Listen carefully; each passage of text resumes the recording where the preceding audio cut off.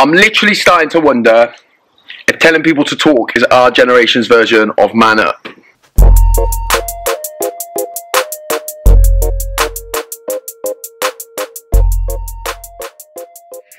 First off, if you're new here, my channel is all about exploring mental health, things that are topical, the ways that I feel, and how I thrive in my life despite the ways that I feel. That feels like something that might be of use to you.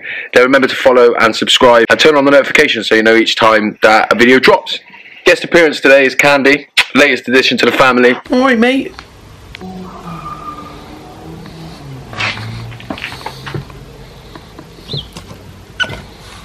and we're recording today when I've just got back from a run. So I'm on. Can you see that? Lovely, right? Uh, blueberries and yogurt. So I've been looking a lot lately at how everybody keeps telling everyone to talk, right? If you've got a struggle, you should talk. If you're struggling, you need to talk. Talk. We point to the most, most vulnerable people in society, and we tell them that they should talk. And it's troubling me a little bit because I now have an understanding that talking is just one of a million and one different ways that people look to communicate. When I look back to when I was younger at school, as a teenager, when I threw a chair, I was communicating.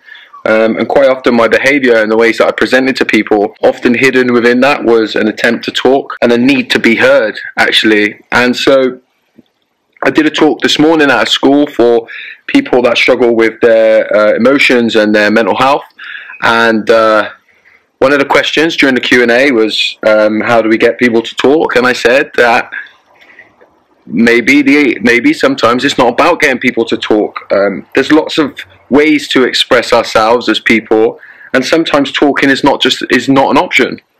At 12 years old, I was unable to articulate the ways that I felt. I was so confused.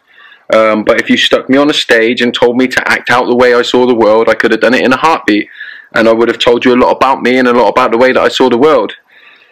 So that kind of therapy um, stuff, that therapeutic stuff that we talk about, art, music, drama, um, but then on top of that, behaviors and things like that.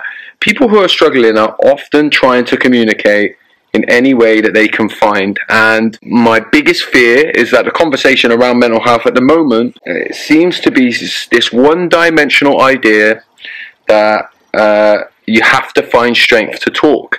And for me, I would say that's not always the case. I, I would say that what we need to do is, as people, we need to start to recognize when other people are trying to communicate with us. And like I say, they do that in a million and one different ways. So the message really today, in today's video, is about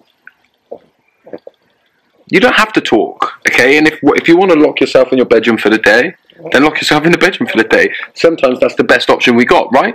And there's nothing wrong with that. And actually, I would encourage that if that's what you need. But with that, I should add that exploring the ways that I feel has been the greatest thing that I've ever done and it's probably been the most healing thing that I've done. Um, talking has been for me a vital part of that. But if writing things down helps you, um, then write things down. Um, just find a way to express, explore, and become curious about the ways that you feel. In my life today, one of the main ways I do that is is talk. But also another way that I do that is by being silent. Yeah, and another way that I do that is by listening to people. And so if we're not encouraging exploration and curiosity, then we're failing. And I know look, in the past I've told people just to talk. I've said you just need to talk because it, I, you know, I think we want to offer solution and that seems like the most obvious one. But sometimes it's not possible. Sometimes we don't have the words and sometimes we can't find a way to to to express ourselves. So if you don't want to talk, don't talk. Another way to feel better, by the way, is uh, if you don't feel better looking at that, no, I'm joking.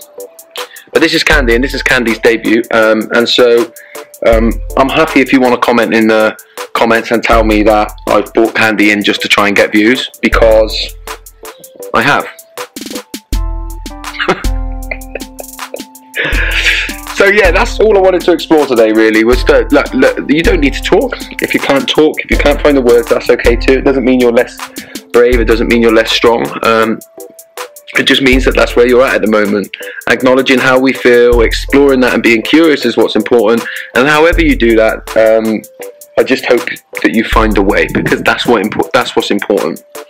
So as always, uh, please share this video and obviously like it as well. And remember to subscribe if you haven't done that before. And look, if you want more of Candy as well,